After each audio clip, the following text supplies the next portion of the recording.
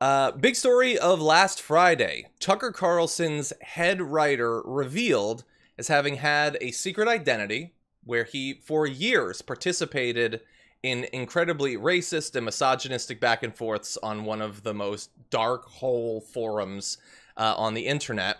And that is not just from years ago, which would not make it okay.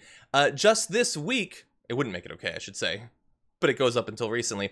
Just this week, the writer Blake Neff responded to a thread started by another user in 2018 with the subject line, and I don't even, I don't want to read any of this. You know what? It's really racist. That's what I'll say. If you're on the podcast, watch the clip. It's really, really racist, and I don't feel comfortable reading even the redacted version of it. Mm. Um, he he said things like, "I wouldn't get LASIK from an Asian for free." I don't. Seems weird. LASIK's thousands of dollars. Just that's a great deal. Um, he said that on June fifth. This is last month. Tucker Carlson's head writer said black dudes staying inside playing Call of Duty is probably one of the biggest factors keeping crime down. And he goes Huh. on to say, this is like three weeks ago. Honestly, given how tired black people always claim to be, maybe the real crisis is their lack of sleep. There's lots more. There's tons. You can see it. Oliver Darcy's got a write up on CNN Business. I'm not going to read through all the stuff. Um, he's a crazy racist who was the head writer for the biggest name in news. Yeah, no, I think everyone should read it. And I, I agree with you, John. It's disgusting to say out loud, but read them. There are many, many N words. Um, there's it's it's laden. It's not coded, it's open. And it's openly misogynistic. Uh, he is targeting he targets like women he he knows, which is Mhm. so weird. He like a woman that he that he knows through Facebook, he just starts like like starting a whole thread about how ugly she is, just like the for most years. For years. For just like years. what if a 13 year old, you know, you pull back the curtain on Tucker Carlson, and I did expect a 13 year old, and look, it's Blake Neff. No, not Blake Jeff, uh, just a normal a hole name, you know, the two first names. No, no, Neff. It's like if Blake Jeff fell downstairs, Neff, you know, like that. Just like the dumbest sounding dude bro name, Blake Neff. Um, if if anyone watching this is named Blake or Jeff, I still love you. Can't speak for Francesca. Okay, but put them together and then add Yeah. an N. Uh, also, Tucker Carlson apparently said that he was a quote great writer, constantly talking about what a great writer he is, and it's clear that he pretty much wrote most of Tucker Carlson's scripts Yeah. and he lightly edited it. And so, yes, this is what happens when you have an actual racist and then you make it for Fox News and it's just crypto racist, right? They're like actual fascist, crypto fascist. This is you just take out the N word, you take out the F bombs. It's just the, it's the exact same message of Mhm. blaming people for their own oppression, um, and the hostility and the white nationalism. It's disgusting, and it's 100%. a great writer. Like this is what's great about it. Also, is like, oh yeah, oh it's a great. I mean, mm, like the the syntax, the number of racial slurs that he's All able the to verbs find. are active. Yeah, yeah, okay. yeah. Uh, no perspective breaks. Adverbs at a minimum. Um. Yeah. I. Yeah. Uh, so here's the thing. Like when I saw it, I thought, of course. Yeah, he wouldn't have a head writer who wasn't a racist. The funny thing, as many people pointed out, is that this guy like finishes up a long shift at Tucker Carlson, and then he's like, "Okay, now I can finally be myself and be more racist." like like I, oh i've been i've been suffering under the the ever woke environment of tucker carlson for too long. Now i can really let loose.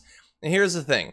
I want to show you like when, when i saw the first headline it was he secretly posted racist things elsewhere and i thought well, okay i get that that's a story. He's the head writer and everything.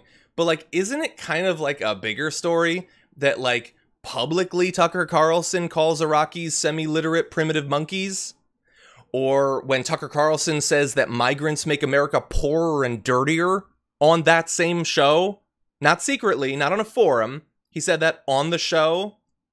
Or when Tucker Carlson called white supremacy a hoax. Or when Tucker Carlson spread the white genocide South Africa farmer conspiracy theory multiple times on his show. That is just stuff bubbling up from the darkest white supremacist forums online straight to the guy with the biggest audience in the world. And that's not secret. That's not a forum. And that wasn't just the writer, that was Tucker Carlson saying this stuff. It was Tucker Carlson that spent the entirety of the, the, the, civil rights protests that are going on right now viciously maligning the protesters, calling them the true racists, saying they're coming for you. They're going to be roaming the streets, black militias with guns. I don't like Blake Neff's secret racism, but I am more worried about Tucker Carlson's public racism. I mean, I I am a little. I mean, Blake Neff comes from the Daily Caller, right? Yep. I mean, th- this is what happens. You know, like all these, all of these people that now have jobs at major the major outlet Fox News came from places like the Daily Caller or the Blaze or I don't know, you know, uh, Breitbart, and we see the the fringe to mainstream pipeline so clearly. It's like if you know, I mean, if only, right? Like, you know, stories and things that we spoke about here on TYT made it into any kind of mainstream news, mm-hmm. um, they might actually talk about a real issue. Uh, but yeah, this is behind Tucker Carlson is a 13 year old who thinks bigotry is a personality. Yeah. Uh, and he goes by the pseudonym Charles the Twelfth, and this is great. Mm-hmm. Charles XII was known for his military victories, and um, also he abstained from sex and alcohol. Right, that this was the way. Oh my gosh, is that Blake? Mm-hmm. That, that's the that's the photo I've been able to find of him. Oh god, oh god. So Neff is a history buff, interested in wars and military bases, and has repeatedly disclosed on the forum that he rarely drinks, and I'm sure abstains from sex, which has got to be hard because look mm-hmm. at him. Look okay. at him. Uh, I will say there does seem to be a sort of connection, a correlation, if you will, between the sort of incelism that is implicit in that with the lashing out, the misogyny. Because remember, it's not just racism, it was extreme misogyny. He seemed potentially more devoted to the misogyny than the racism. Still, horrific racist. Um, yeah. And so, look, Fox News has fired the guy.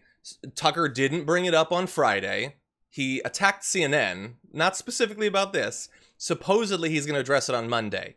I'm going to imagine he's not going to take it very seriously. And He's going to imply that this is cancel culture and all of that, um, and pretend that we shouldn't be worried that an out and out N word spewing racist was writing monologues for this newsman.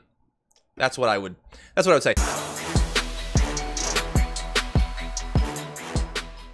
For more political news breakdowns, interviews, stories of activism, and me trying my hardest to care about the occasional big celebrity news story, subscribe to our YouTube channel at youtube.com slash the damage report. And you can ring the bell wherever it is so you don't miss anything.